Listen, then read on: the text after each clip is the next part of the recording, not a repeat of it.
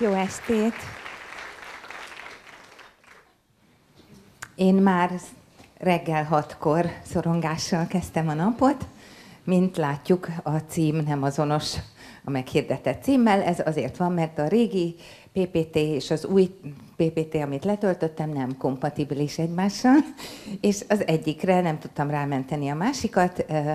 Minden férfiszerű aludt otthon reggel hatkor, aki segíthetett volna, és akkor így végül úgy döntöttem, hogy akkor így.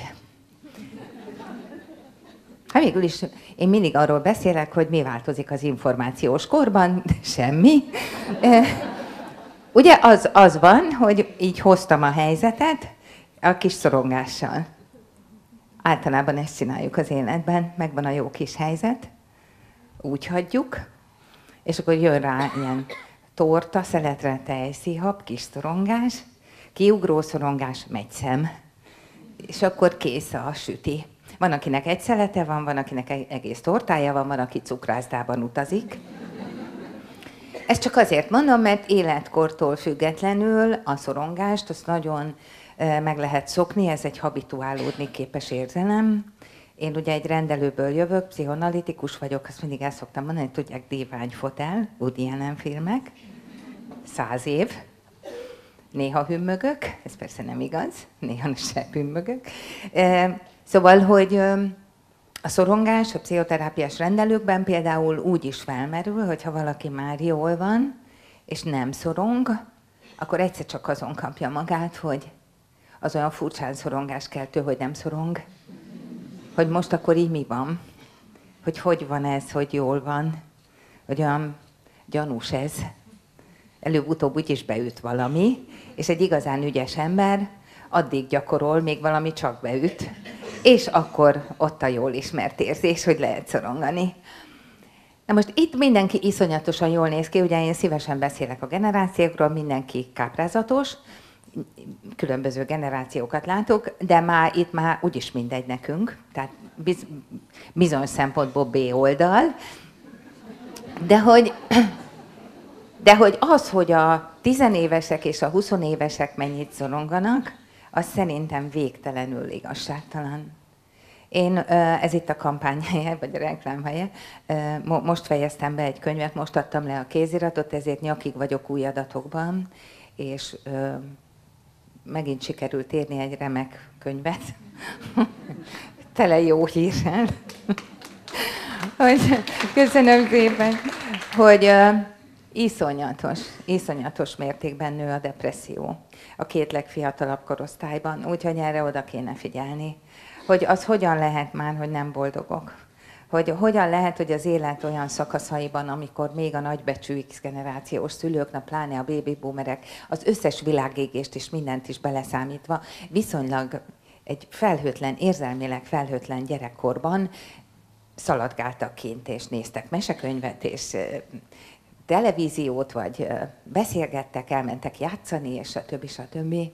Hogy hogyan van az, hogy ma azért minden helyzetben tulajdonképpen kiküszöbölődnek látszólag dolgok, amelyek régen olyan akadályok vagy gátak voltak, amelyeket meg kellett, hogy ugorjunk, nem árulok el nagy titkot, nyilván egyre csökken a lefelé menő az életkor, a depressziónál, szorongásoknál, egyre több ember szenved ettől, e, és egyre inkább látszik, hogy a tünetek is a narcizmus köré csoportosulnak, és meg a depresszió köré.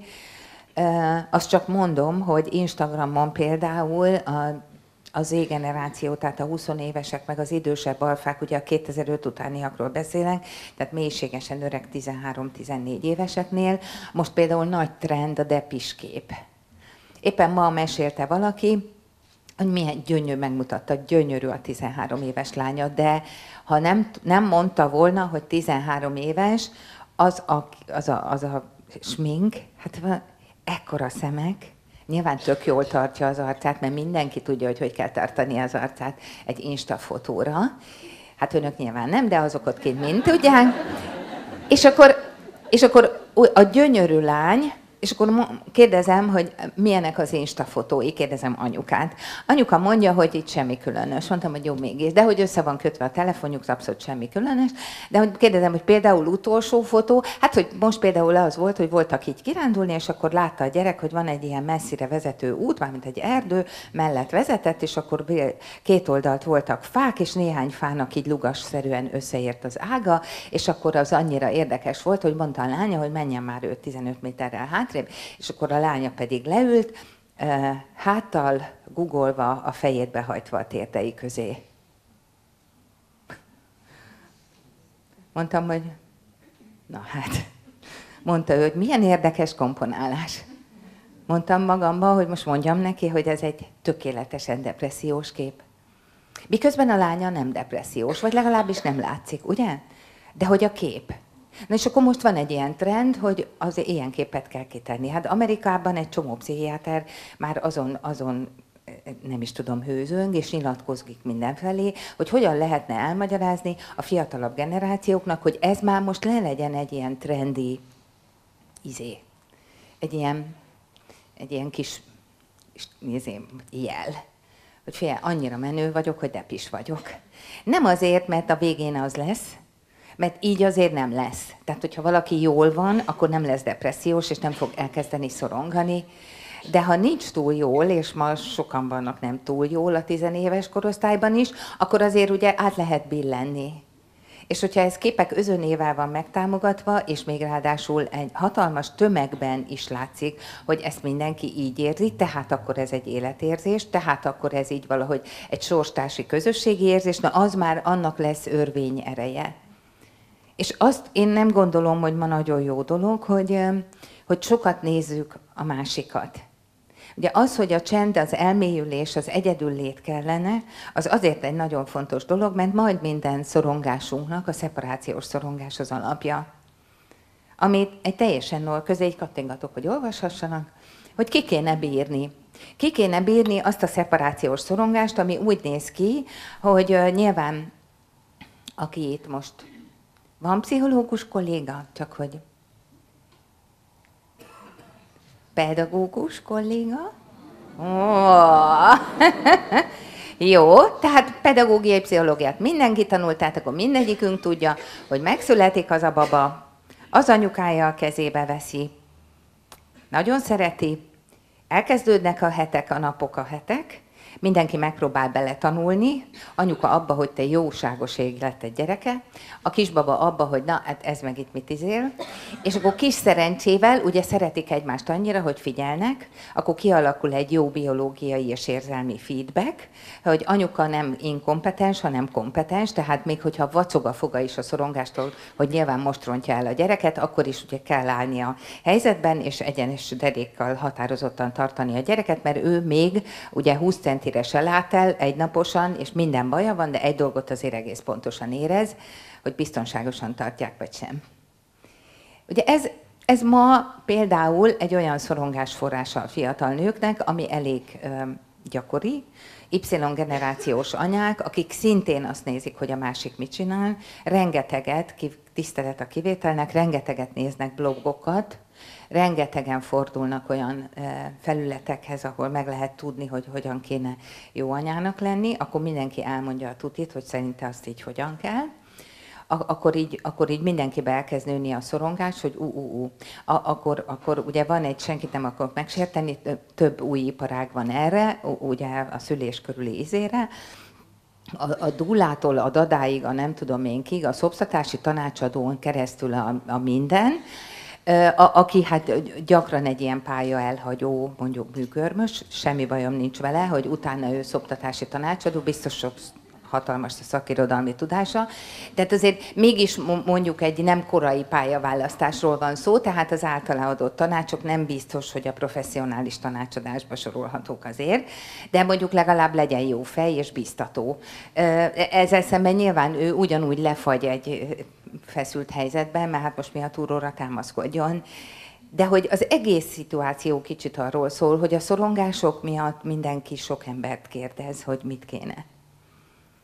Ott nagyon visszamenve az időben, információs kor előtt, vagy még előtt egy nő, aki gyereket szült, annak ott volt a Hát, ha szerencsétlen volt, akkor az éjszakás nővér, ugye az álmos éjszakás szülésznő, hogy ez is már miért most tolja, az orvos, aki vagy bejött, vagy nem, a, akkor így meglett az a gyerek, akkor kitolták embertelen körülmények között, vagy megkapta a gyereket, vagy nem, mindegy, valahogy hazavergődtek öt nap után, nem kettő, hanem öt nap után, és akkor elkezdődött az a dolog, amiben ő muszáj volt, hogy begye, hogy valamit csináljon. Hogy így, hát valamit muszáj volt csinálni. Szerencsés esetben volt neki egy tök normális anyja, vagy legalább egy tök normális anyósa, vagy egy nagynéni, vagy egy valaki, akit meg lehetett kérdezni, hogy most mi a túró van, ha ez itt bőg.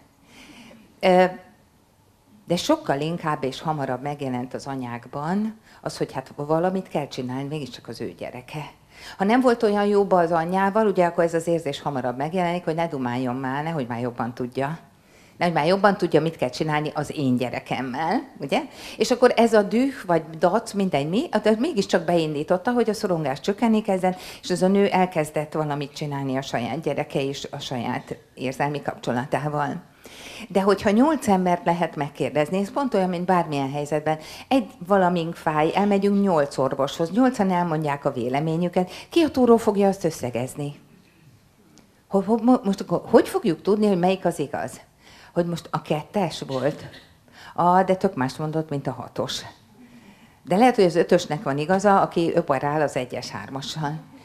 Ugye ez nem, nincs, olyan, nincs olyan elemi képességünk, hogy a több embertől megkapott véleményt szintetizáljuk. Így igazából azt lehet elérni, hogy minél nagyobb sugarú körben próbálunk érde, érdeklődni és információt szerezni, adott esetben az annál, ahogy ahhoz képest, hogy szorongás csökkentés céljából csináltuk, a szorongásainkat növelni fogja.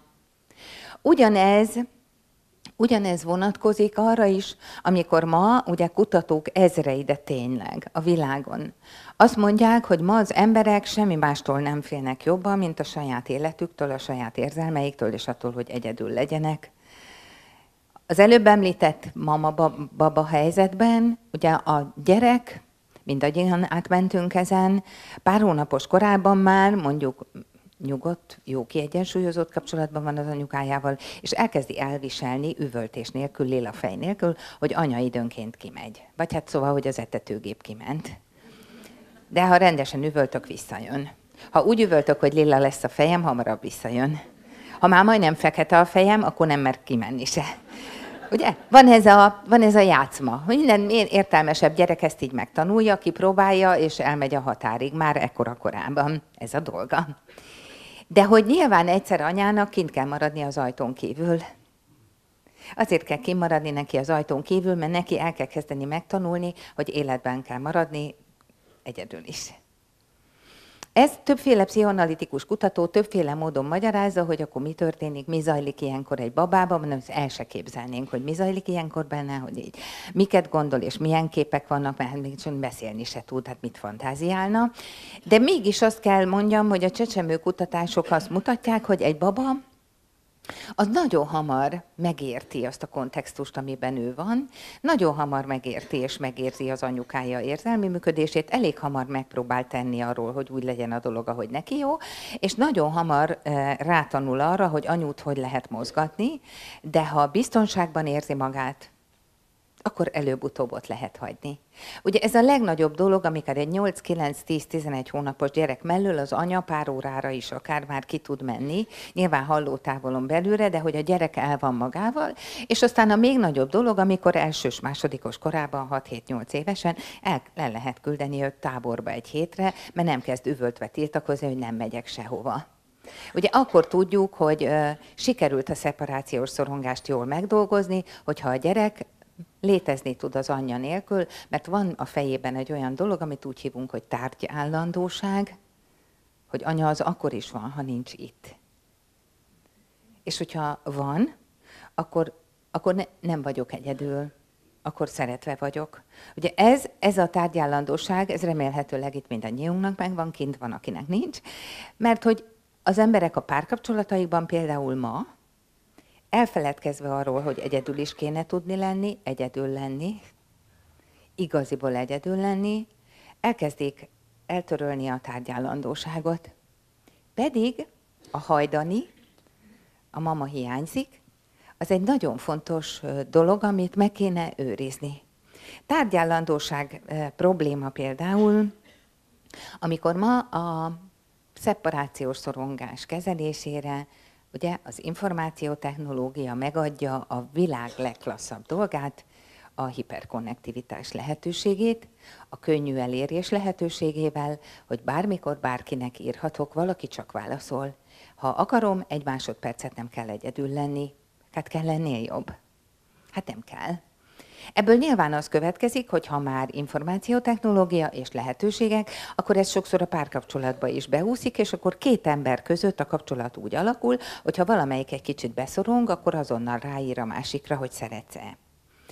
Ez ugye túlmutat azon a, a rég kicsit megelőző időszakok párkapcsolatain, hogy szeretsz-e, és ezt mondjuk azért kicsit ciki lett volna három percenként megkérdezni, mint ahogy nyilván az is kellemetlen lett volna, hogy vegyünk egy androidos telefont, vagy akár bármit, aminek nagy a felülete, és mondjuk azon egy, egy nagyobb képernyőn, így nem tudom hány szívecske fér el, de, de mondjuk, hogy azt egy, egy nő teletölti szívecskével. Ugye akkor van azon mondjuk 174 darab szívecske, és akkor ezt elküldi az ő pasiának ugye ebben a, a szeretet mellett van egy picurka, tényleg picurka agresszió, arra nézve, hogy, hogy, hogy akkor így, hogy, hogy jöjjön vissza valami. Ugye akkor én megmutatom, ez egyébként ugye nem nehéz meglátni a hasonlóságot, a 174 szívecske, meg a lila fejjel üvölt csecsemő között, ugye? Hogy, hogy, hogy, hogy vedd már észre, hogy megpusztulok. De még az e- előbbi helyzetben két hónaposak vagyunk, és e- abszolút van egy mellénk rendelt személy, akinek momentán az a dolga, hogy minket valahogy így jól ellásson. A pasik valamiért ezt a dolgot nem így nézik. Igazság szerint, mikor meglátnak egy ilyen képernyőt, ak- akkor így inkább ilyen negatív érzéseik támadnak egy pici szorongással, mi szerint most kéne elrohanni valamelyik irányba. Mert a kiválasztott cuki az így kivillantotta a fogafehérjét. Ezt férfiak is meg tudják csinálni nőkkel, és nem is 20 évesnek kell hozzá lenni, ezt 40-esek is tudják csinálni, sőt 50-esek is. Ez a ráírtam, miért nem válaszol, hogy a közte eltelt idő mondjuk 71 másodperc, az senkit nem zavar, mert a gyorsaság igénye a könnyű eléréssel, a hiperkonnektivitással mindenképpen azt a jogos érzést kelti, hogy hát nem egy elzárt víruslaborban dolgozik. Hát nem neurológus, hogy agyszöveteket műtene kartámasszal 13 órán keresztül, akkor mit csinál? Nyilvánvalóan nem szeret. És akkor, mint egy 123 másodpercnyi türelmi idő után, mindenki teljesen jogosan megírja, hogy hol vagy, és mit csinálsz. És kivel beszélgettél, és kivel fogsz találkozni, miért nem jössz haza. Én is akarok menni. És minden ilyen mondatot, egyébként szörnyű ez, vissza lehetne rakni a megelőző életkorba. Az azonnal gyere haza, mondd, hogy jó vagyok, mondd, hogy szeretsz, mondd, hogy, mondd, hogy vagy nekem, és mondd, hogy vagyok neked. Magyarán szólva mondd, hogy létezem, és mondd, hogy létezel, semmi más nem történik, mint a tárgyállandóság állandó forgatása. Ezzel csak az az egyetlen egy baj van, hogy most a kutatók azt nehezen tudják megmondani, hogy ha a két ifjú digitális generáció úgy nő fel, hogy az életben, egy csomó helyzetben tulajdonképpen online térben is szocializálódva a, a kapcsolataiknak ezt a típusú gyorsaságát, érzelmi szükséglet kielégítési lehetőségét megszokják, egy szóval habituálódnak ehhez, akkor akkor eljutunk oda már most is, az van, hogy egyre nehezebb látni a prózai életet, ami tök lassú, emberek egyáltalán nem úgy viselkednek benne, ahogy az úgy kéne, hogy, hogy nem gyorsan válaszol, nem mondja állandóan, hogy szeret is egyet tök önző.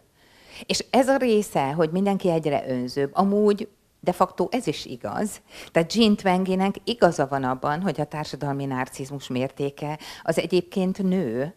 Tehát nem lettünk cukibbak, hát szörnyűek lettünk. Most nem az, hogy szőke vagyok, és hogy mi zajlik, ha én vezetek, mi zajlik mögöttem az autóba, a tökéletes férfi a négy másodperces türelmi idejével, majd mindkét könyökével nyilvánvalóan rákönyököl a dudára, mert azt hiszi, hogy egy idióta vagyok. És ugye, ha én erre reagálnék valami nem annyira női eset, hanem inkább mondjuk ilyen maszkulin jellegűt, verbálisan vagy ö, bábozva, a, a, a, mert lehetne, ugye egy ilyet lehetne, akkor ő, ő mit mondana azonnal, hogy mit csoda egy agresszív nő. Ami egyébként nem baj, tényleg, de hogy... De, de ugye ezek, ezek a, az új típusú akció-reakció, vagy reakció-válasz-reakció helyzetek, azok mutatják, hogy az empátia, egymás iránti kölcsönösségünk, tisztelet, érzelmek, elfogadás, az egy kicsit csökkenő félben van. Na most, hogyha az anya-gyerek kapcsolatban elfogadható szorongáscsökkentés, a szeparációs szorongás elfogadása. Az egy picit behullámzott, akkor eljutunk oda, hogy egyébként eléggé mindenkinek behullámzott, valamit egy kicsit eltoltak, hát itt mindenki szuper anya volt, nyilván most is az, de, de, de mondjuk így a világon, meg ott kint szaladgálóknál valami behullámzott, mert hogy a mostani 20-as, 30-as korosztály valahogy így nem jól van ezzel az élet dologgal. Mondanám, hogy ö, van egy ilyen KSH adat, most megpróbálok nagyon vagánykodni és szó szerint idézni, nyilván nem fog menni, de hogy ne hazudjak legalább.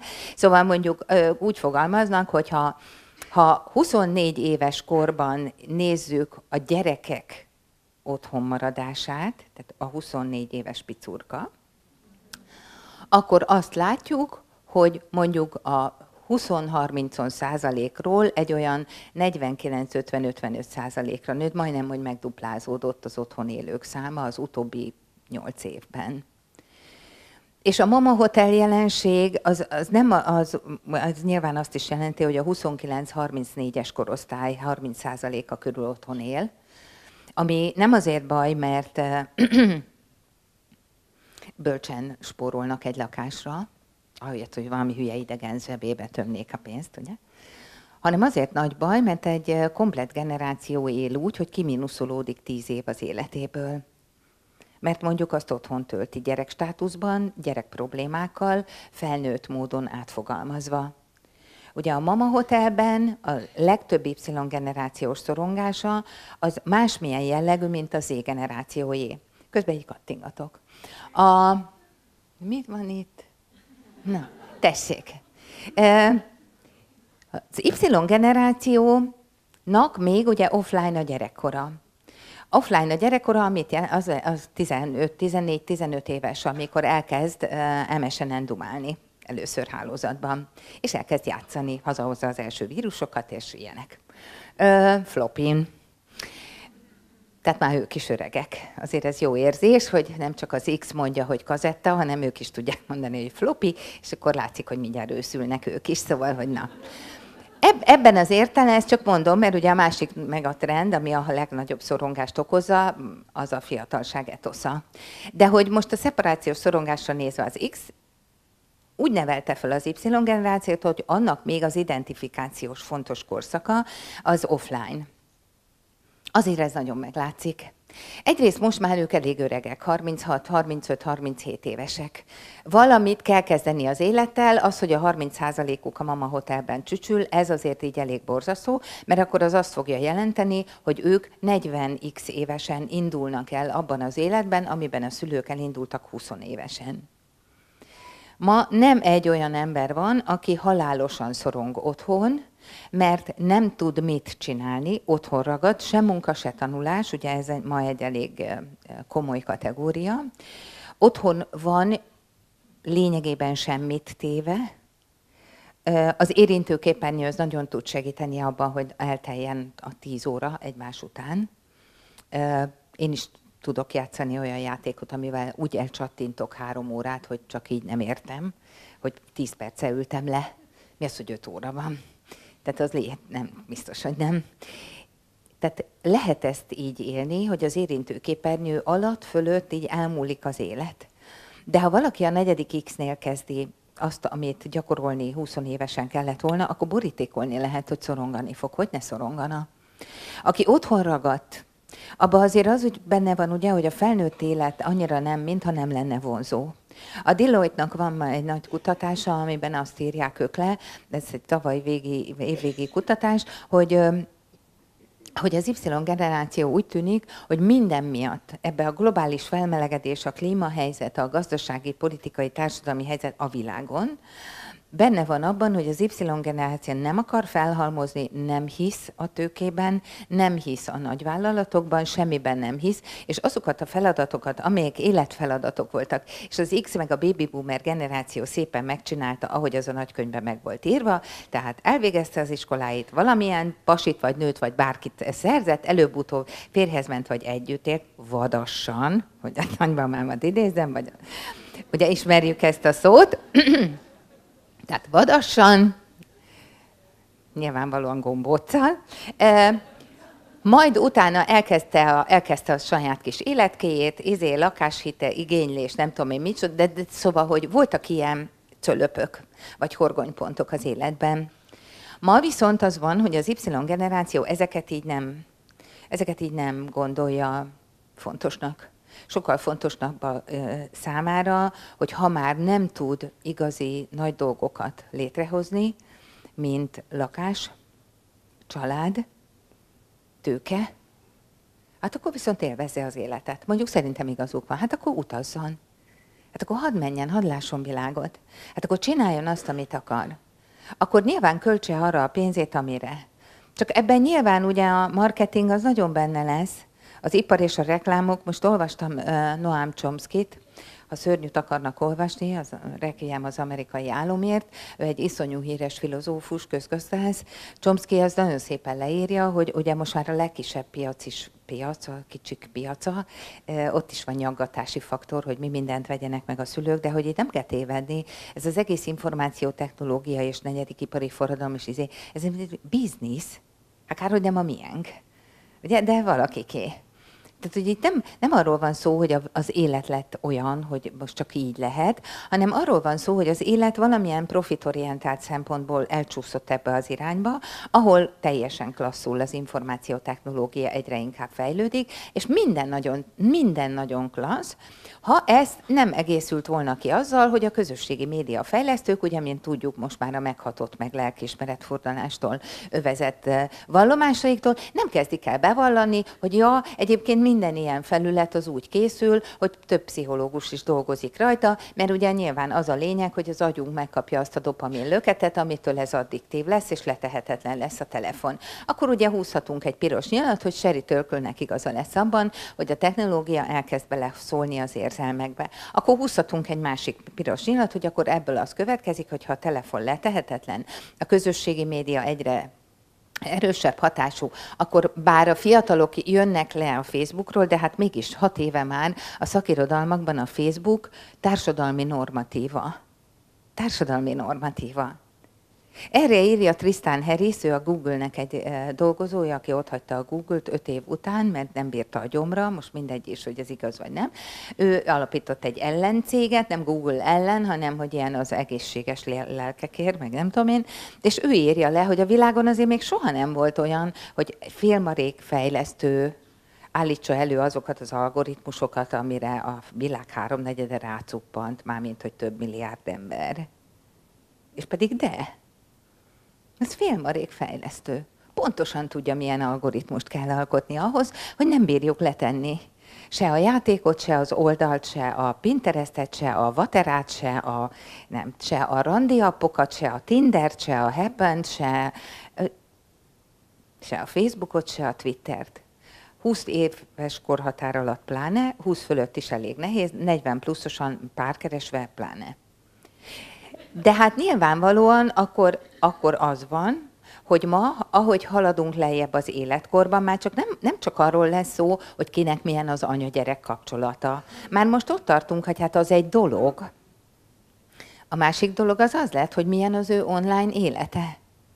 Tehát ma például gyerekpszichiátriai, gyerekneurológiai, de még gyerekbelgyógyászati rendelőkben is el szoktam mondani konferenciákon, muszáj megkérdezni a gyerek online életét, hogy lehessen látni, hogy mi van hozzátéve hiperkonnektivitásban, és mihez képes lesz neki hiánya, amitől a szeparációs szorongása mégiscsak megmarad, és folyamatos kielégítésre és megnyugtatásra szorul. Azt így nyilván nagyon nehéz elhinni, hogy a magyar középső csoportos óvodások 20%-a eszközhasználó, és 29%-uknak saját telefonja van, óvoda középső csoport elmenni ma egy óvodapedagógiai konferenciára, azelőtt be kell venni három szemnyugtatót, de tényleg, mert hogy ott ülni, és azt hallgatni, hogy mondjuk van -e, vannak ilyen e, itemek, hogy, e, hogy akkor azért a kutatók csak megkérdezik, hogy, hogy hogy lesz két évesen a gyerek kezébe a telefon, elölhagyta, a gyerek megszerezte, vagy direkt odaadta, azt ugye nem kell mondanom, hogy mindenki az első kettőt választja. Elölfelejtette véletlenül, gyerek rávetődött, ő nem adta oda. Pedig ez a digitális cumi, egy, egyszerűbb lenne bevallani, hogy de. Csak hogy közben, ha azt mondjuk, hogy hiperkonnektivitás, érzelmi szükséglet kielégítés bármikori érvényesítése, gyorsaság trendje, könnyű hozzáférés és könnyű elérés, akkor már is ott vagyunk, hogy ez egy olyan életkori regressziót előállít, hogy bárhány évesen igazából úgy lehet infantilizálódni, hogy az ember tényleg azt akarja, hogy most azonnal történjen valami. Olvastam egy cikket a Google-ban, például muszáj fejlesztéseken dolgozni, mert hogyha a találat ideje több mint kettő másodperc, akkor a userek beírnak, hogy rossz a Google. Kettő másodperc. Tehát dolgozni kell azon, hogy kettő másodpercnél kevesebb legyen. Három nem lehet. Három másodperc. Ez ma idő. Hát én nyilván olvastam egy influencer csávónak, Logan Paulnak, aki hírhet lett egy ilyen, egy ilyen az életrajzába, hogy ő a, a Vine nevű portfólión, vagy ezért miatúron platformon indult filmekkel, ahova 6, perc, 6 másodperces videófilmeket lehet feltölteni. Mondom, 6 másodperces. Hát most itt néznek, hát komolyan, ugye? 6 másodperc alatt a, nem kapcsolódott össze két neuronjuk. Nem történt egy szinaptikus összeizélés, mert olyan lassúak. Egy 20 éves ez alatt megnézett egy filmet, amíg maguknak egy A betű formálódott a, valahol itt a halántéklebeny és a homloklebeny környékén. Hát ez a baj. Ez a fenem lassúság hogy most ugye gyötrődnek, hogy lehessen erre mondani valamit, és igen nehéz, mert hogy most mit kezdjünk egy hat másodperces filmmel? Ja. Hát biztos van története, csak hogy így, hát ezzel az aggyal, nem fog menni, jókain fölnőve? Miről beszélünk? 600 oldalas könyveket olvasva? Hagyjuk már. Hát így nagyon nehéz lesz megérteni, hogy a gyorsaságban egyébként a fiatal generációk egyre jobban szoronganak. Tehát igaziból a helyzet az az, hogy ma közben egy rutinból katintatott, tessék, na, milyen cuki. Tehát mindenki ettől fél. A Z alfa generáció is ettől fél, és igazából azt szeretné nagyon, hogyha lehetne beszélgetni valakivel, és semmit, senkit nem akarok néven nevezni, de a szülőkkel elég nehéz beszélgetni manapság hát maguk nyilván mind szuper jó fejek, de szóval, hogy vannak egy csomóan, akikkel kicsit nehéz leülni, mert így eszágában is meghallgatni hülye történeteket, meghallgatni még hülyebb zenéket, rettenet képeket nézegetni, és egyáltalán, amikor mindjárt kezdődik a sorozata, mert legalább annyi legyen már az élettől, hogy fél kilenckor le lehet ülni, azt a francos sorozatot megné, legalább azt a barátok köztet. Mondja a két diplomás apa. Hát nyilván nem mondja, ez most csak egy ilyen izé volt, mert az értelmiség köztudottan nem nézi ilyeneket. Nem? Ugye? Nem, olyan újságot se olvas, ami a bulvár izé alatt van. Valaki mégis megveszi, fogalmunk nincs, hogy ki, de hogy ö, Minden esetre, ugye ebben, ebben az értelemben ma minden kutató azt mondja, hogy ha a gyerekei szorongását, vagy a gyerek, vagy a tanítványa, vagy a valakinek a szorongását észreveszi, mondjuk például egy ilyen remek fotó elkattintódik, mint ez a lugas alatt a googoló gyerek, akkor így sajnos el kell kezdeni beszélgetni. Na de hát ehhez idő kell. És akkor ugye mégiscsak felötlik a kérdés, hogy egyébként a lassú időhöz szokott, ám de irritáltan felgyorsulva élni kényszerülő idősebb generáció a túróért nem tud beszélgetni. Mert nem tud, vagy nem akar. Pedig hát nem nagyon lehet más csinálni. Most mit lehet mondani az YZ generációnak, hogy ne féljen az élettől? Ugye citrom jellegű fejjel azt mondani neki, hogy az élet szép? Hát komolyan, most a, hát ott áll, Hát mit fog ő gondolni? Hogy ez egy bullshit. Hát mondjuk speciál igaza van. Ugye, mert azért az X generáció is több mindent akart a hátába, meg a nyakába, hideg zuhanyt és az információs kort. Így együtt. Azt a, azt a pozíciót, amiben ugye azon szorong, hogy neki már nem is lesz állása. Hogy jönnek a fiatalok, és nem úgy jönnek, mint amikor ő volt fiatal, és tisztelettudóan megállt a feljebb valója, vagy az idősebb kolléga mögött, hanem úgy, hogy neki már így tapossák a sarkát, és tudja, hogy le fogják őt cserélni. És ezen annyit szorong, és olyan hülyén kezd viselkedni, hogy a végén tényleg. Tehát nagyon ügyesen el lehet érni, hogy 50-es életkorú embereket kirakjanak a munkahelyükről, nem is szokták látni, hogy ők ebben hol vannak benne. Mindenki azt szokta gondolni, hogy veri a sors. Pedig azt kell mondjam, hogy mindig 50-50 százalék az ilyen helyzetekben az ember saját felelőssége, hogy mondjuk mióta vág olyan képet, amire nem túl jól ránézni. Vagy hogy például, ha vannak fiatal munkatársai, akkor mikor beszélt velük utoljára úgy, hogy nem volt ráhalucinálva a zsabós blúz, amennyiben így elmagyarázza az élet értelmét, meg egy kis bezzegedést. Tehát ugye tudunk úgy antipatikusak lenni, hogy mély meggyőződéssel gondoljuk, hogy iszonyat jó fejek vagyunk. Hát ennél rosszabb kombó nincs, amikor egy X generációs elmagyarázza az életet, hogy szerinte. És amit mondanak, köze nincs ahhoz, amit ma egy YZ és alfa generációsnak meg kell élnie, mert ő sokkal agresszívabb emberekkel találkozik, mint amit anyukája vagy apukája el tud képzelni, aki, amikor egyébként ő találkozik agresszívabb emberekkel, mondjuk tényleg veri a sors, és lesz egy 30-as főnöke, akkor ugye ő is megtudja, hogy hol van az a bizonyos, mert akkor neki kell látnia, hogy igen, a 30-asban nem biztos, hogy lesz annyi empátia, amennyit ő szeretne, hogy legyen. Mert ő meg azon szorong majd, hogy felnőtt főnöknek látszódjon 30 pluszosan. Most ide jön ez az 50-es, okoskodik, hát még a végén kihúzza a széket. És akkor látjuk, hogy ma két markáns szorongás áll szembe, az idősebbek életkori szorongása, a fiatalok teljesítmény szorongásával. Ez egy kiváló helyzet különben.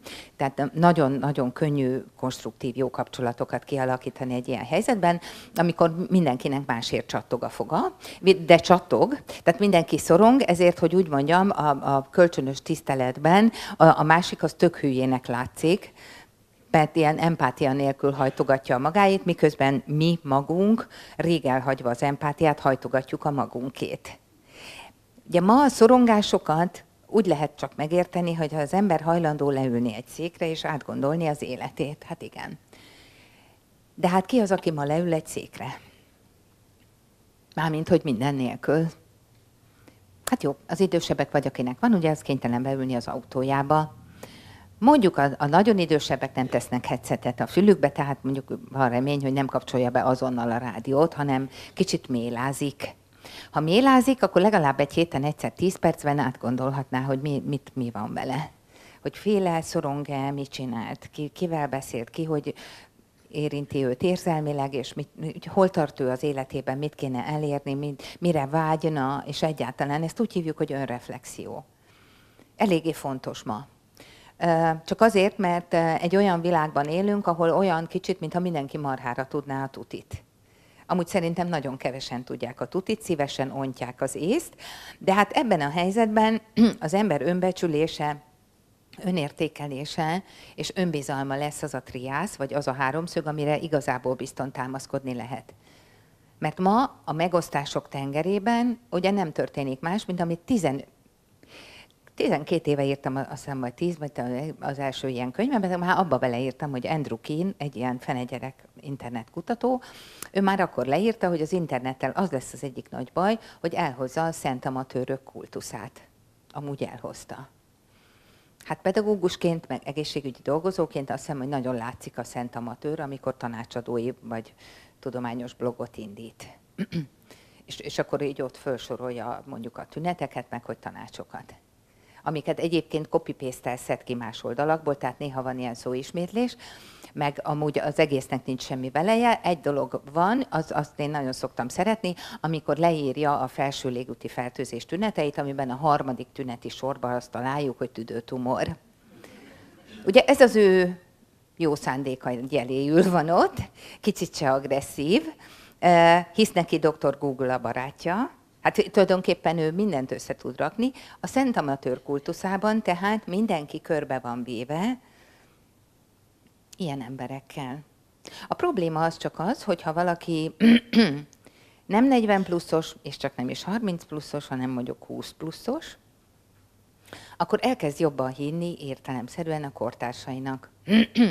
Normálisan is ez lenne, információs kor nélkül is ez lenne. 20 évesen, 20 évesen az ember nem kérdezi meg az anyját vagy az apját, hogy szerinte melyik cipőt vegye föl. Hát megkérdezi a, az osztálytársait, vagy megnézi a csoporttársait, hogy bocsánat, mi van rajtuk, és mi, mit kell fölvenni. Ezt senki nem nyitotta ki nekem. Köszönöm szépen. A, szóval a kortárs csoport hatása, ah, Köszönöm.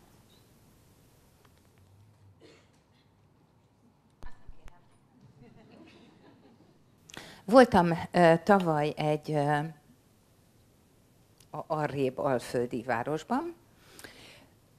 Találkoztam 630 diákkal, akiknél nagyon-nagyon-nagyon hoztam a tutit, úgyhogy megkérdeztem, hogy hány Facebook ismerősük van, vagy az Insta hányan követik őket, hogy 500-an-e. Na, ott helyben süllyedhettem volna el, mert úgy néztek rám olyan lesajnálóan, nagyon édes, mint egy ilyen fogyira.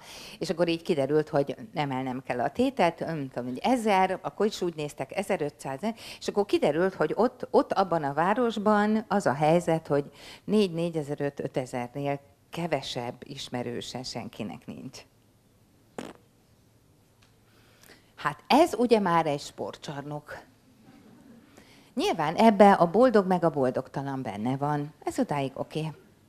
Nyilván akkor ebbe olyan abszolút lényegtelen emberek is benne vannak, aki ugye a 27. láncon kapcsolódik valahogy, mert hát nyilván a dopamin löket az ismerősi szám emelkedésére is igaz, tehát azt mindenképpen növelni kell. Ha az ember 17 éves, akkor meg, meg hogy szor három. Tehát, hogy oké, okay. Kire fog hallgatni ez a 17 éves? Hát a szülőket eleve hülyének gondolja, lehet, hogy van is benne valami, tehát akkor maradnak a többiek. Jó, akkor mondjuk az üzenő falán pörög 20 ember, oké, azoknak a meg azért mégiscsak az osztályában is vannak páran, akkor hogyha szerencséje van és mindenki jó fej, akkor megdumálnak dolgokat. Ha fiú, akkor nem nagyon dumálnak meg. Ugye ebbe a férfiak nem nagyon változnak, valamiért évszázadok múlnak el a fejük fölött, és ez a le- lelkizés, ez a ez az érzelmi masszírozás, ez, ne, ez nem. Ez nem tények, praktikus dolgok. Oké. Okay. De mondjuk, hogy ha, ha a lányok vannak ebben a körben, akkor azért mégiscsak így megkérdezik egymást, hogy mi van, meg mi történik, meg ezért. De hogy közben nyilván van egy elég nagy szorongásfaktor, meg kell felelni ez, ennek a tömegnek. Vagy legalábbis a nagyon fontos részének a dedikált részének, akik tényleg ott pörögnek az üzenőfalon, vagy akik mindig első körben ott vannak. Ez egy elég nagy nyomás. Csak az a baj, hogy ez az online térnyomásán keresztül jön. Tehát akkor ez egy olyan szorongásforrás lesz, ami arra indít minden tizenévest és 20 évest, hogy akkor legyen ő egy valamilyen. Akkor hogy lehet valamilyennek lenni? Hát valamilyennek ma úgy lehet lenni, hogy az ember keres egy valamilyet. Mondjuk keres egy vloggert, keres egy influencert, Remélem, hogy nem azért néznek így, ahogy néznek, mert azt se tudják, miről beszélek, hanem hogy mindegyiküknek van öt influencer név a zsebében, igaz? És legalább háromnak a követői, és abszolút feliratkoztak legalább öt YouTube csatornára, és nézik, Mert hogy ugye ők a véleményvezérek. Nem is ez a baj. Nem is az a baj, hogy ezek között nyilván rétegződve mindent találunk. Van az igazán értékes, hát őket azért jóval kevesebben nézik. Ugye amikor egy egyetemista elkezdi mondani, a nem tudom, én is tök jól csinálja meg, ne? Az azért így kisebb közönséget vonz, mint amikor, nem tudom, Logan Paul áramütéssel ízélget egy patkányt és röhög mellé, meg nem tudom én micsoda. Ugye ezt 15 millióan nézik, ezt meg lehet, hogy 241-en, mert az egyetemen rendesek vele a 15 millióst fogja mindenki nézni. Az, hogy önök neveket se tudnak ilyen szempontból, az elég sajnálatos, de hogyha mondjuk vannak a köreikben ilyen z-generációsok, akkor azért érdemes legalább egy Google keresést futtatni, hogy legnépszerűbb magyar youtuber, vagy legnépszerűbb magyar influencer, vagy vlogger, és akkor rögtön rátalálnak egy olyan térre, ahol mondjuk ahol mondjuk azt lehet látni, hogy a nevezett influencer igen sok embernek fontos. Megnézzünk egy ilyen videót, nem fordultunk le a székről, mert fogjuk a karfát, Vég kibírtuk, ezek 8-10 perces videók, konstatáltuk, hogy az illető ül reggel az ágyába, vagy kávét iszik, vagy hegyezte a ceruzáját, vagy mond valami iszonyat blödséget, vagy megmutatja, hogy kell mosókapszulát lenyelni, vagy eljátsza a saját anyát fölturbánozott hajjal, vagy szóval valami nagyon nagyot odarak.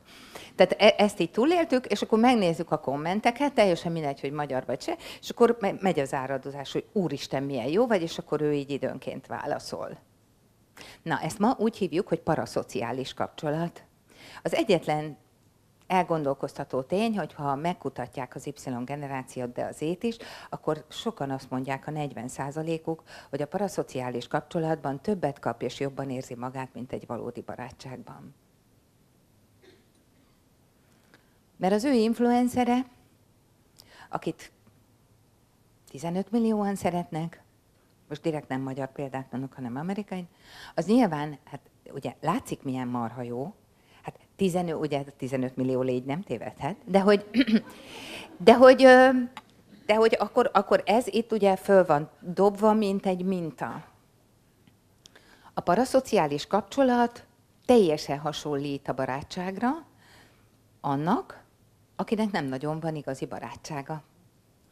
De ha ez túl hamar érkezik, az influencer jelenség az ő életébe, nagyon trendi lesz, ő meg egy kicsit szorongóbb, vagy egy kicsit befelé fordulóbb, akkor már is ott azt, azt fogjuk látni, hogy a kiinduló státusz már egy ilyen szempontból megosztott, mert sokkal könnyebb az online térben barátkozni, mint kibírni egy cikisebb helyzetet face-to-face. -face sokkal könnyebb itt valakinek azt mondani, fú, annyira, annyira nagyon ott volt, amit csináltál, amire ő visszaküld egy puszi fejet, és akkor azt gondoljuk, hogy szeret. 15 millió közül minket kiválasztott, és kaptunk egy puszi fejet. Tehát nyilvánvalóan akkor nem vagyunk akárkik, ugye ez akkor egy ilyen ön prezentáció emelkedés, vagy egy kreditszerzés. Itt meg a cikkis helyzetben azt mondani a barátomnak, hogy figyelj már, annyira rossz kedvem van, hogy csináljunk már valamit, az ilyen itt létezhetetlen. Itt leírnak vloggereknek olyan, olyan vallomásokat, ami elképesztő. Itt nem mondanak egy szót se. Itt a felnőttek is sok mindent kitesznek, szülés is van a Facebookon, meg minden, itt emberek állnak egymással tényleg, és leginkább a 30-as, 20-as generáció pókerfészre utazik, hogy nehogy már látsz, látszódjék az arcán, hogy mit érez. Nehogy már kiderüljön. Itt a mindennek a megmutatása, itt a mindennek az elrejtése. Az információs kor előtt egy picit így fordítva volt. Úgy értem, az emberek jobban megmutatták, az e, kénytelenek volt, tehát csak emberi kapcsolat volt. Most lehetett abba mindenféléket csinálni, de hát az embernek a barátai voltak, akkor azokat csak találkozott programokat csinált. Előbb-utóbb mindenkiről kiderült, hogy mibe hülye, mibe nem. De az is kiderült, hogy amúgy lehet szeretni, vagy nem. Ha nem szerettük, akkor, akkor végül is nem lettünk a barátja. Ha meg szerettük, hát akkor tulajdonképpen lehetett neki megbocsátani. A nagyon hülye volt, azért még kaphatott egy esélyt. De ha mi hülyék voltunk, mi is kaphattunk egy esélyt. Megtanultunk tehát hibázni. Megtanultuk, hogy kudarcokból azért lehet építkezni. Megtanultuk, hogy bizonyos helyzetekben tapasztalatként is felfogható, hogyha az ember segre esik egy, esik egy sípáján, mert hogy így lehet megtanulni síelni. Az emberi dolgokkal sincsen ez másképp. Hát elméletileg nem tudok megtanulni síelni. Szoktam mondani, benne a rendelőbe, csak ott uszodát szoktam használni, hogy ugye egy jó pszichoterápia az olyan, mint hogyha az lenne, hogy én tartom a száraz edzést, tök jól tud úszni, állunk a medence szélén. Hát elméletileg iszonyat jól megy. Be kéne ugrani a vízbe. De akkor kiderül, hogy megy-e a mellúszás, ugye? Hogy me- hát ha itt állok a medence szélén, és azt mondom, hogy fel tuti megy, akkor az ma a 21. század kommunikációja. Ma az YZ generáció 66%-a mindenre azt mondja, azt képes mondani, fia abszolút megy, sőt jobban tudom a másiknál. Miközben a mérhetetlen erős szorongás, ami elönti, az a le fogok bukni, ki fog derülni, hogy semmit nem tudok, és a nem fognak szeretni, vagyis nem vagyok elég jó szeparációs szorongása. Tehát az online tér által előállított felfújtegó működés összetalálkozik, mint nagyotmondás, ér, érthető nagyotmondás, összetalálkozik a realitásban a végtelenül egyszerű, meglévő helyzeti elvárások által definiált szorongásokkal. Ha azt mondom, iszonyat okos vagyok, hát biztos így van, de ha picit látszana, az nem lenne baj. Ez, ez ugye olyan, mint a hány fekvőtámaszt tud csinálni Chuck Norris, ugye? Az összeset. Tehát ma, ma így ez megy. És, és nyilván az online tér a felfújódást igényli. Hát egy óceánba úszik mindenki, 35 alatt mindenképpen. Hát önök is ott tapicskolnak a szélén, nagy buzgalom, remélem, tehát, hogy benne vannak azért a flóban, de mondjuk igazán a 30-as, 20-as, 10-es generáció van benne a flóban, ahol neki látszódnia kell, és hogy a túróba lehetne látszódni? Látszódni csak egyre nagyobb kiváltott potenciálokkal lehet. Akkor egyre klasszabb fénykép kell. Ma egy rendes tizenéves, ha igazán ápolja és gondozza az Instagramját, akkor azért 40-50-60 képet elkattint, mire megtalálja azt az egyet másfél-két óra múlva, amelyiket megszerkesztve, filterezve ki lehet tenni, mert annyira tuti lesz. És akkor nagyon örül neki, hogy jönnek rá a lájkok, szívecskék, puszifejek és esetleg egy-két izé. De azt már mondjuk nem tudja mire vélni, amikor, és a szorongásait kezelni, amikor az egyébként az a pasi, aki ő vele szakított két hete, az ott figyel elsőként az Instagramban, mint lájkoló, hogy akkor ez most mi? Hát elhagyta, akkor nincs is ott, és akkor meg ott van. Vagy azt mondta, hogy soha többet itt meg lájkol. Akkor most mi? Ugye ezek azért nehéz helyzetek, és meglehetősen szorongáskeltők, különösen akkor, ha belegondolunk, rég kattintottam, tessék, hogy ha belegondolunk, hogy nincs megoldó képlet a zsebében az Z és alfa generációnak, amivel egy ilyenre azt tudná mondani, hogy ez egy hülye, soha többet nem akarom látni, és Nogdacu még azt is megtenné, ami elképzelhetetlen, hogy törli az ökantját. Ugye hát ez tehát nyilván senki nem fog lejönni az Instáról egy hülye miatt. Pedig néha lehetne ilyet csinálni, hogy, hogy leiratkozunk. De hát ez nyilván csak egy X generációs ember tudja mondani, aki ugye a, úgy, úgy nőtt föl, hogy enélkül. Noha vannak irodalmi adatok arra nézve, hogy több generáció felnőtt az információs kor nélkül, azért nem biztos, hogy jól, de minden esetre a régi offline begyakorlott, készségszinten elsajátított emberi akciótervek, ugye ez mind-mind egy, egy kognitív séma egyébként a fejünkben, és alapvetően a tükörneuronoknak köszönhető, de az egy tök másik előadás, azok, azok a mankók, támaszok, térképek és megoldó képletek felnőtt, vagy nem annyira felnőtt, hanem tinédzser helyzetekben is, hogy most akkor mit kell csinálni bizonyos szituációkban. De ha valaki online is identifikálódik. Megtanulja a felfolytegó működést. Tisztában van az iszonyatos erejű transzparenciával, hogy minden látszik. Ugye abba a körbe, akit beengedett, meg különben nincs értelme az ismerősi számokat növelni, ugye?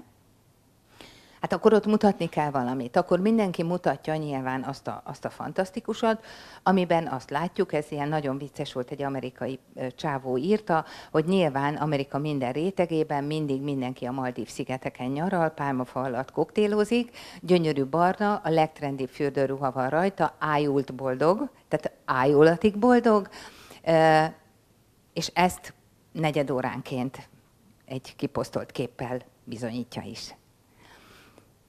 Hát nyilvánvalóan nincs mindenki a Maldív szigeteken. A, szerintem a nyaralások háromnegyedében az emberpárok veszekedni szoktak. A nem hoztad el, hova raktad, te tiszta hülye vagy. Mondtam, hogy le fogsz égni, gyere ide. Nem vetted meg azt a naptejet, amit mondtam, ugye? Nyilván hólyagos vagy, hányni fogsz már, hány ingered van. Fejfájás csillapítót se hoztunk, és a többi, a többi. Ezek a kedélyes, kedélyes nyaralós izék este pedig a ne igyál annyi sört. Mondtam, hogy ne. Ez, szerintem ez a valóság. A másik az egy kép. Az a kép, az egy cizellált kép. Mondhatnám, hogy csillámporos, mondhatnám, hogy szidolozott.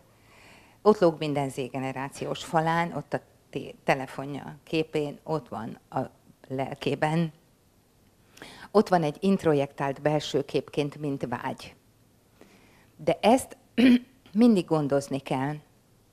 A gondozás az azt jelenti, hogy újabb és újabb adagot kell hozzátenni, újabb és újabb valamiket ki kell találni, újabb és újabb uh, tematikával kell kiegészíteni, vagy kopizni kell valaki másét.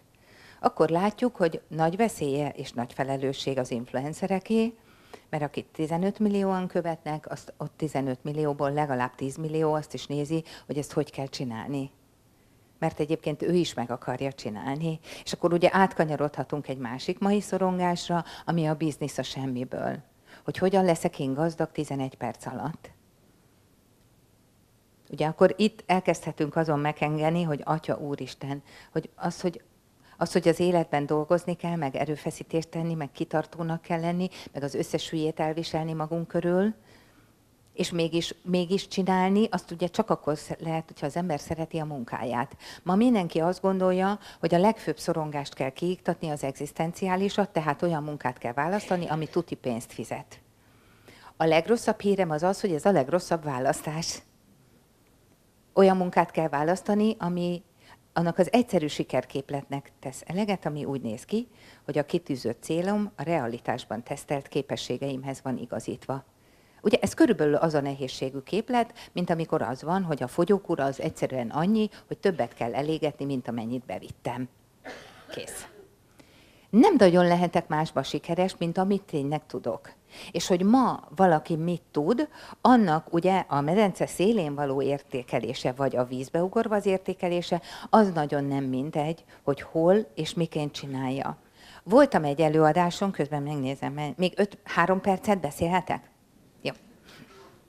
Voltam egy nagyon-nagyon jó kezdem, vagy már nem is most már ilyen világméretűek, a Logi egy konferenciáján, és akkor ők is elmondták, ami általában tapasztalható minden iskolatípusban és munkahelyen is, csak a kudarc, veszteség, csalódás, stb., hogy megy a gyerek, valami elsőre nem sikerül, és akkor sírva fakad. És már így nem akarja még egyszer. Tehát olyan, mintha a gyerekeknél az a szorongás, hogy nem fog sikerülni, és egyébként erre is van magyar kutatási adat, hogy iszonyú korán megjelenik bennük, hatodik, hetedik osztályban már ott van 12 évesen, 13 évesen. A szülők elvárásaitól való szorongás, de ott van a perfekcionizmus előszorongása, hogy nem fogom tudni megcsinálni, hogy nem leszek elég jó, hogy nem fogom érteni, és ennek azt gondolom, hogy markáns alapja van. Ma nekik az ő fejükbe töltsérrel az dől, hogy higgyetek a külső tudásbázisnak. Főleg csak nálam kell, hogy legyen a telefonom. Hát miért kéne nyelveket tanulni? Hát majd lesz egy ilyen izé. Voltam előadni Küllő Péterrel, tudják, bátor tábor. Azt mondta előttem egy kicsit élemedettebb korú társaságnak, mint itt, ők nem néztek ki olyan jól. Azt mondta ilyen nagyon hercigen, hogy na, ki szeretne lenyelni egy nanocsippet? Ugye, és akkor így, hát így rettenetes fejük lett, mert hirtelen ennyibe kiderült, hogy 60 pluszosan senki nem akar lenyelni semmit, köszi, csak este maximum azt a kis vérnyomáscsökkentőt, semmiféle nanocsip, ő bele ennek urkáztanak, ne írja ki egy szoftver azonnal, hogy mi van. Nem kell applikáció, hogy négy lépésenként pontosan tudja, hogy mennyi oxigént fogyasztott, hány almát kéne még megenni, hogy áll a tüdőfunkciója, és a nem tudom én, mert ez csak az Y generációt érdekli meg az ét. Az X köszi nem. Az még szűrővizsgálatokra se jár, mert nyilván babonással hisz abba, hogy amit nem vett észre, az nincs és, és akkor ez így, így, így van, hullik is, mint a légy, de hogy mindegy. De hogy az YZ generációnak ez a vágya, ugye találkozik azzal, amit azért nagyon nyom az információs kor, hogy ma nem a klasszik tudás kell. Tud, hogy hol kell keresni. Tehetséges legyél, és akkor majd viszed valamire. Indul a pedagógia, az oktatási izé a digitális metódus irányába, közben kattingatok. A digitális metódus az tényleg nagyon jó, néha kevéssé hatékony, de minden esetre az látszik, hogy a tanároknak egyre kevesebb lehetősége van arra, hogy valahogy elérjék, hogy a diákok tanulni akarjanak. Mert hogy olyan, mintha lenne egy ilyen értékrendválság, hogy most mi, mi az igazán jó. Ha megtanulja tényleg, álmából fölébresztve is tudja, vagy kicsit olyan, mint az egyszerű jogász, aki végzett, és végül is nem kellett neki betéve tudni a BTK-t. Elég, hogy tudta, hogy ha az van, hogy testi sértés, akkor nem a PTK-t veszi elő, hanem a BTK-t, mert úgyis három havonta változik, miért kéne? Tudnia kell, hogy hol van az információ elérési helye. De amúgy az életben az ember sok mindent megtanul. Megtanulunk beszélni, járni, a pelust lecserélni vécére, kis szerencsével, kicsit később vissza pelusra, de hogy vannak ilyen dolgok az életben, amiket életkészségnek hívunk, és azért csináljuk, mert végül is lejöttünk a fáról. Van egy Nyéri Kristóf nevű tudós, aki azt mondja, hogy az egy ilyen nagyon aggasztó dolog, hogy a tanulás és a beszéd, vagy a kommunikáció tekintetében picit redukálódni látszik ez az egész. És hogy akkor ez most egy ilyen visszafejlődés-e. De minden esetre, hogyha az YZ generáció fejében ö, egy mérleg egyik serpenyőjében a külső tudásbázis van, a másikban pedig, hogy e, a belsőre nagyon-nagyon nehezen lehet szert tenni, mégis a külső kéne, akkor ott egészen biztosan a mérleg két serpenyője között egy hatalmas szorongás megjelenik. Mert a külső tudásbázis nem ad bizalmat. Attól én nem fogok állni a helyemen, vagy ülni. Attól nekem csattogni fog a fogam, hogy Úristen, csak nehogy olyat kérdezzenek, amit így nem tudok, vagy hogy... Pár évvel ezelőtt simán leírtam, hogy milyen vicces lesz, amikor két ember úgy beszélget, hogy egyik se beszéli azt a nyelvet, de majd a Google Translate-tel állnak egymásra, és akkor azt kérdezi, hogy hogy van a nem, és akkor ö, és akkor majd kikeresi. Nyilvánvalóan vannak egészen vicces helyzetek, de hát közben meg melyikük akarna olyan orvoshoz menni, aki a Wikipédián keresi a vesélyüket? Ugye, ugye, hogy vannak tudományterületek, ahol bizony azt szeretnénk, hogy ta- tudja. Ne, ne magyarázza, ne keresse, ne nézze, ne idé, tudja. És és ha nem tudja, akkor, akkor tartunk ott, mint ma az orvostudomány, az orvos képzésben és a pszichológus képzésben is vannak elég komoly gondok, hogy akkor most az ifjú generáció a magolást, azt így, az, arról így hogyan vélekedik. Ugye azért keményebb egyetemeken a neurológia, élettan, gyógyszertan azért az úgy egy eléggé olyan dolog, amit így értelemszerűen picit nehezen lehet, tehát a kicsit tovább tart hogy mondjuk a gyógyszerneveket az ember gyógyszercsoportok vagy molekula ö, csoportok szerint megtanulja, magolás ez valójában. De meg lehetett csinálni. Ma pedig az egyetemi sat felvételéknél, amikor szövegértést vizsgálnak, akkor az van, hogy egy három-négy tagmondatnál hosszabb mondatnál az egyetemi hallgatók így elbizonytalanodnak, hogy hogy kéne ezt értelmezni. Sok minden változik, de egy dolog az biztos, az ember mindig érzi, ha nem oké a helyzet. És szerintem az YZ generáció, anélkül, hogy akarta volna, egy csomó olyan szituációba kerül, egyébként a közösségi média okostelefon túlzó használata miatt, ahol, ahol azt érzi, hogy hú, semmi nincs a birtokában, ami biztonságot adhatna neki. Ez az igazságtalan. Hogy erre senki nem figyelmeztetett senkit. Hogy amúgy ennek ez a következménye, hogy eddig is nagyon sok ember szorongott, mert a fogyasztói társadalom kitermelte, mert a pénz és a vásárlás és a nem tudom én, az azonnaliság, nézzünk körbe karácsonykor, hogy viszi haza 153 százalékos THM-mel mindenki a meg Fuci VB-ken, ugye nyilván önök nem, de azok ott kint, ugye azt a három méter képátmérőjű tévét, ami azonnal kell, a törlesztő részlet úgyis másfél hónap múlva jön csak, akkor ráérünk el gondolkodni, hogy mire. ez ugye semmiben nem különbözik attól a 11 hónapostól, akik megkaparint egy túrórudit, és ott üvölt lila fejjel, mert azonnal meg akarja enni. De ez hazatolja a tévét. Ez meg nem bírja elrágni még a túrórodi papírját, tehát tovább üvölt. Ez itt majd akkor üvölt, mikor kinyitja azt a borítékot, amire valamelyik bank neve rá van írva. Akkor ő is üvölt, mint a fába szorult.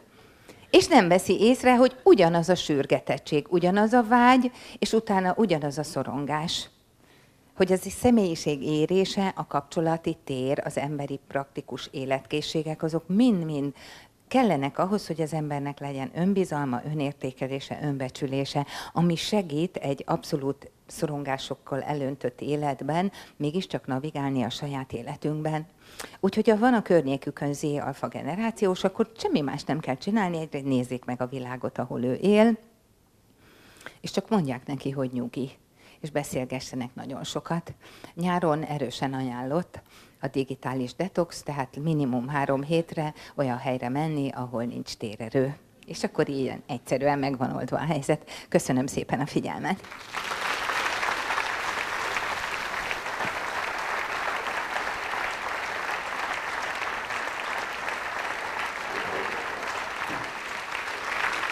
Köszönöm.